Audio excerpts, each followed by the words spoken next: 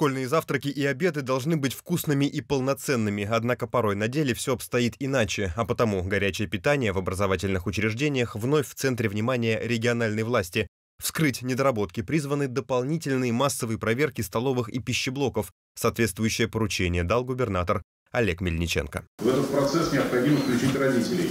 Потому что вот те жалобы, которые сейчас есть, которые мы сейчас проверяем, не буду пока называть учебные заведения, все находится в проверке.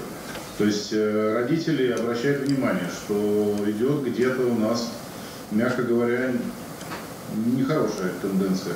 С этой нехорошей тенденцией в школах Пензенской области начали активно бороться в конце прошлого года.